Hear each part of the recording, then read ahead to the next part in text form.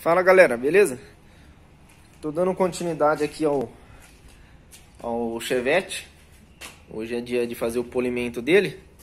E pro, provavelmente amanhã eu vou levar ele já na, na oficina lá para terminar de fazer os, os acertinhos mecânicos. Beleza? Então eu tô fazendo só uma externinha antes aqui do carro, tá? Vou fazer uma externinha antes do carro aqui. Vou passar uma boina de, de lã aí, para dar um, tirar uns riscos dele.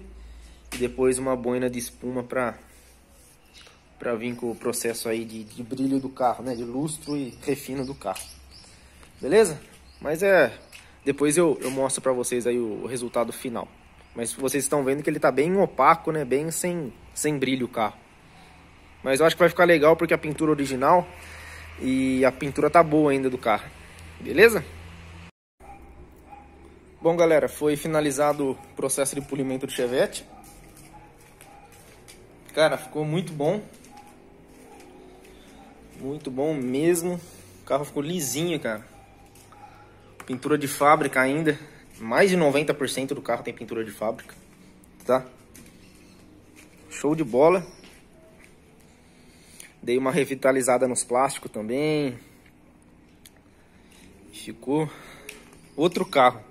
Para quem viu esse carro aí no, no, primeiro vídeo, parado há 10 anos e hoje está andando aqui polidinho, limpinho, cheirosinho, é, é muito gratificante, né? É o único é, problema, é defeito, né? O único retoque que ele tem, cara, é aqui, tá vendo? Nessa lateralzinha aqui, onde tem uma mancha, foi feito um retoquinho mal feito aqui. E ele tem uns pontinhos de ferrugem aqui nessa porta porque acumulou água. Eu que limpei aí as galerias de água, tá vendo?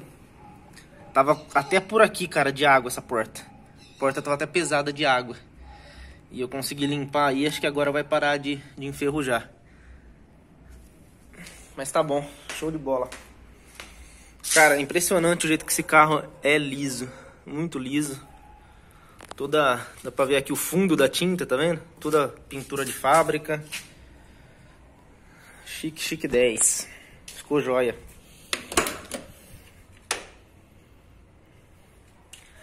Beleza, galera?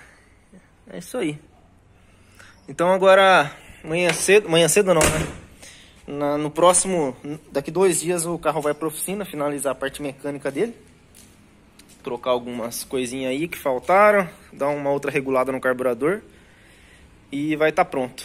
Pelo menos a princípio vai estar tá pronto, né? Vai, ficar, vai faltar algumas coisinhas aí do banco, algum negocinho ou outro aí que meu sogro vai querer fazer mais para frente, mas é, a ideia realmente era colocar o carro para andar, né? E dar um tapinha aí de estética nele para ele ficar bonitinho.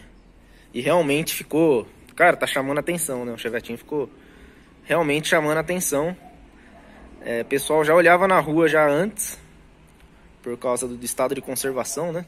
Dele. E agora então vai ficar melhor ainda. Beleza? Então o vídeo se encerra por aqui, galera. Um vídeo curto. É mais para atualizar o Chevette. E se você gosta aí do conteúdo do canal, é, dá um like no vídeo e considere se inscrever no canal aí, beleza, galera? Valeu, tchau!